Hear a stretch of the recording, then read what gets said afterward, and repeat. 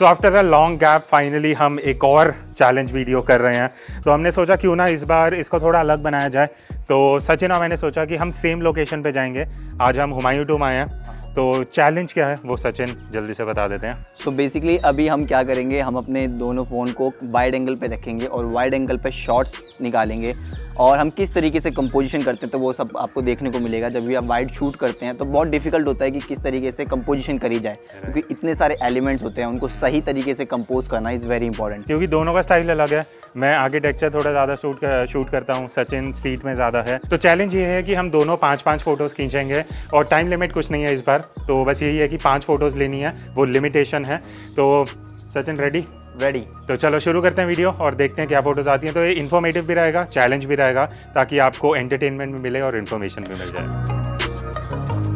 Okay okay, तो पहला shot जो मुझे समझ आ रहा है वो है कि एक बहुत इंटरेस्टिंग लाइट का पैच बन रहा है। तो होता है कि जब हम सुबह के टाइम शूट करते हैं ना तो लाइट थोड़ी सॉफ्ट आती है और हमें डायरेक्शनल लाइट भी मिल जाती है। तो सचिन तुम्हें एज अ मॉडल यूज़ करूँगा। तो वहाँ जो बीच में पैच बन रहा है ना वहाँ पर एक बार आ जाना। Okay okay.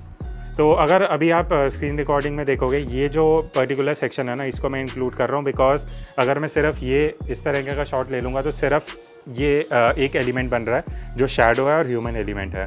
बट मैं क्या कर रहा हूँ मैं ये भी इंक्लूड कर रहा हूँ सो दैट एक और लेयर ऐड हो जाएगी फ्रेम में। अब कॉम्पोजिशन की बात करूँ इट इज़ सब्जेक्टिव मैं सेंटर में भी रख सकता हूँ इस तरीके से। तो इस शॉट में मैं सब्जेक्ट को रूल ऑफ़ थर्ड्स में रख रहा हूँ इस पोजिशन पर और कुछ ऐसा शॉट बनाएँगे। तो सचिन रेडी रेडी ग्रेट तो यहाँ पे अब मेरे पास ऑप्शन है कि सिर्फ़ मैं एक शॉट ले सकता हूँ। तो सचिन हल्का जंप वाला शॉट करेंगे अपना जो हम करते हैं। रेडी हाँ। One two three jump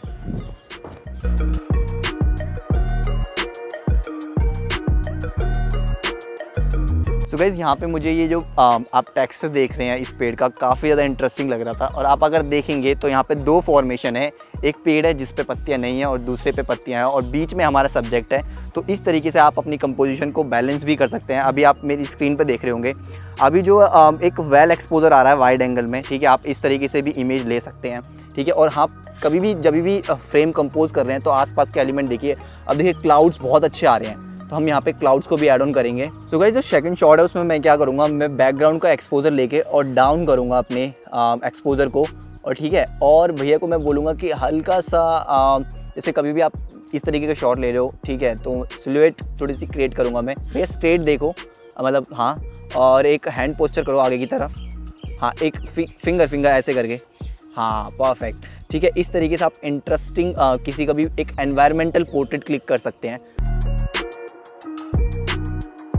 ठीक है तो अभी सचिन को तो अभी शॉट नहीं मिल रहा तो मुझे एक दिमाग में शॉट आ गया विच इज़ ये जो फ्रेम है फ्रेम इन फ्रेम मैं कुछ बनाना चाह रहा हूँ। तो सचिन तुम्हें उस साइड से घूम के उस तरफ़ जाना पड़ेगा यहाँ से जा सकते हो नीचे से। नीचे से नहीं नहीं कूदना पड़ेगा बहुत हाई है। तो एक बार आओ मैं आपको दिखाता हूँ मैं एक्चुअली सोच कह रहा हूँ। तो ये जो पूरा फ्रेम है ना यहाँ पे ऐसा क्या है दो आइज़ और मतलब एक ये मुँह की तरह दिख रहा है। तो इसके थ्रू फ्रेम इन फ्रेम वहाँ पे सब्जेक्ट को खड़ा करके मैं कुछ फ्रेम इन फ्रेम मूवमेंट बनाऊँगा ताकि दो लेयर्स ऐड हो जाएँ। उधर की साइड फ़ोटो लो। जैसे तुम उस टूम का फ़ोटो ले रहे हो हाँ।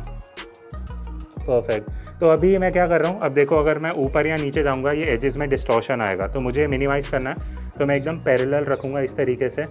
और अब मैं जो एक्सपोजर है, वो सचिन के ऊपर टैप करके, ये एक्सपोजर थोड़ा नीचे लेके आऊँगा, और अब फ़ोटो लेते हैं। सचिन, थोड़ा पास आओगे?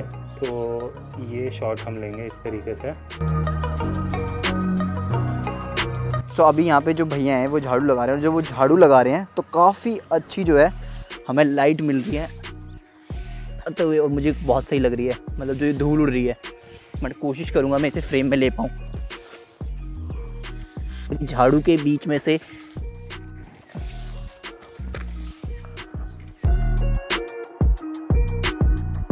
तो यहाँ पे अभी हम थोड़ा लोकेशन स्काउट कर रहे थे तो एक बहुत इंटरेस्टिंग सा लाइन बना हुआ था। मैंने दूर से देखा कि वहाँ पे एक डॉगी जो है वो सो रहा है। शेड है बिकॉज़ वहाँ पे और थोड़े पैच पे लाइट आ रहा है। तो मैं सोच रहा हूँ कि अल्ट्रा वाइड एंगल को यूज़ करके मुझे थोड़ा शांत रहना पड़ेगा। एक बार पास जाता हूँ।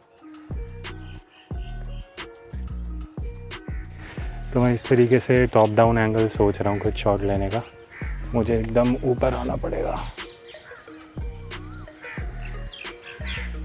लाइन इधर उधर थोड़ी हो सकती है बिकॉज़ uh, मुझे अभी ऊपर का स्क्रीन दिख नहीं रहा है तो वो मैं एडिटिंग में थोड़ा स्ट्रेटन कर लूँगा। बट पर्सपेक्टिव यही है कि टॉप एंगल ले रहा हूँ और यहाँ पे लाइंस बन रही हैं और ये लाइन जा रही है यहाँ से cross I am just making sure मेरे जूते बीच में ना आए और सिमेट्री मिल जाए। सो गाइज़ यहाँ पे मैं आर्किटेक्चर शॉट ले रहा हूँ और मैं एक ऐसा नहीं ले रहा कि स्पेसिफिकली जाके सीधा मैं जैसे यहाँ पे मैं आर्किटेक्चर का शॉट लेने लगूँ। मैं क्या कर रहा हूँ, मैं थोड़ा सा बैक में आ रहा हूँ और मैं एक kind of frame in frame use कर रहा हूँ, यानी कि मैंने ऊपर की जो ये लीव्स हैं, इनको यूज़ किया एज ए फ्रेम और यहाँ पे आप देख रहे हैं, पेड़ भी काफ़ी सही सिमिट्री में है, ठीक है? और मैं यहाँ पे एक बर्ड का वेट कर रहा हूँ कि कोई एक और एलिमेंट आ जाए जो मेरे को मतलब काफ़ी ज़्यादा अच्छा लगता है कि अगर कोई बर्ड मेरे फ्रेम में आ जाए तो तो मैं उसका वेट कर रहा हूँ और वो आते ही मैं शॉट क्लिक करूँगा। तो अभी एक्चुअली मुझे एक फ्रेम दिख रहा है, जो मैंने बहुत साल पहले लिया था। बट मैं ट्राई कर रहा हूँ उसको और बेटर करने का। दैट इज़ यहाँ पे एक्चुअली दो लेयर्स हैं। एक पीछे स्ट्रक्चर है एंट्री गेट और नीचे यहाँ पे स्टेयर केस है। तो मैं ऐसा फ्रेम बना रहा हूँ, अगर आप स्क्रीन रिकॉर्डिंग में देखोगे कि पीछे वो भी लेयर आ जाए और आगे ये जो एक एंट्री गेट बना है, यहाँ से अगर कोई सब्जेक्ट मिलता है मुझे तो वो फ़ोटो में एक तो ह्यूमन एलिमेंट आ जाएगा स्केल दिख जाएगा and at the same time कुछ थोड़ा स्टोरी टेलिंग बन जाएगा। तो अभी अगर आप स्क्रीन रिकॉर्डिंग में देखोगे, मेरे पास एक ऑप्शन है कि मैं यहाँ से शॉट ले सकता हूँ, जो मैं करूँगा। बिकॉज़ अगर मैं पास जाता हूँ और ये एजेस अगर एकदम ख़त्म कर दूँगा तो एक फिनिशिंग पॉइंट नहीं मिलेगा। तो मेरे पास दो ऑप्शन हैं यहाँ तो मैं यहाँ से शॉट ले सकता हूँ, जहाँ मैं एंड्स दिखा रहा हूँ बट मैं हल्का सा आगे जा सकता हूँ जस्ट टू मेक श्योर कि जो मेरी लीडिंग लाइन्स हैं, वो मुझे इस साइड और इस साइड मिल सके, ताकि एक कॉम्पोजिशन रूल भी अच्छा बन जाए and at the same time ये जो एम स्पॉट है, यहाँ पे एक ह्यूमन एलिमेंट आ जाए। So I love the position इसकी पोजिशन बहुत बढ़िया है। तो अभी हम यहाँ अगर यहाँ पे इस डॉग की पोजीशन देखें तो इसने अपना जो फोरहेड है वो बड़ी प्यारी तरीके से रखा हुआ है और मैं यहाँ से कोशिश करूँगा कि इसके हेड पे ये ऊपर जो पेड़ है वो आ जाए ताकि kind of just a position interesting लगे वो।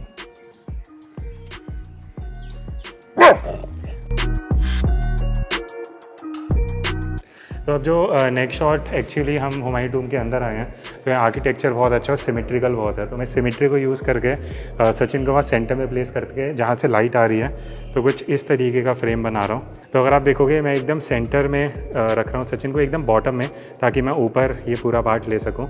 तो इस तरीके से एक बार मैं थोड़ा अंडर एक्सपोज करूँगा। मेकिंग श्योर कि मैं सिमेट्री मेंटेन कर रहा हूँ तो आई यूजली मैच कि मैं इनको इक्वली डिस्ट्रीब्यूट कर दूँ। Okay Sachin selfie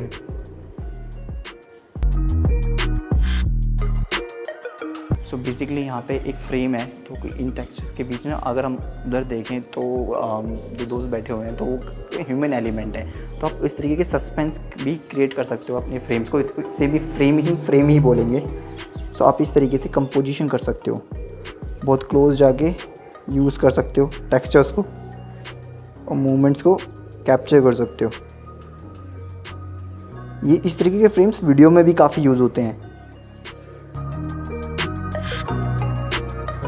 सो so, ये था हमारा चैलेंज जहाँ पे हमने पाँच फ़ोटोज़ ली दोनों ने। और कैसा रहा एक्सपीरियंस भी सचिन के लिए थोड़ा मेरे लिए तो बहुत डिफ़िकल्ट था क्योंकि एक तो गर्मी हो रही है ठीक है तो इतने एलिमेंट्स गर्मी में बाहर निकलते नहीं है स्ट्रीट के क्योंकि मैं जिस अप्रोच को फॉलो करता हूँ ना तो मैंने उसी अप्रोच को फॉलो किया। ग्रेट तो आई होप आप लोगों को ये video informative plus at the same time थोड़ा एंटरटेनिंग भी लगा होगा बिकॉज़ वही हमारा ऑब्जेक्टिव था। और अभी जो है फुटेज देख रहे हो ये 360 में इसलिए दिख रहा है बिकॉज़ हम अभी ऐसा एक्शन कैमरा यूज़ कर रहे हैं जिसके बहुत जल्दी इस चैनल पर रिव्यू आ जाएगा। तो दैट्स इट सचिन को आप लोग फॉलो कर सकते हो उसका इंस्टाग्राम हैंडल यहाँ आ जाएगा। Uh, मेरा भी हैंडल दिख जाएगा और दूसरी साइड पर रतनदीप। तो मिलते हैं नेक्स्ट वीडियो में तब तक take care and keep clicking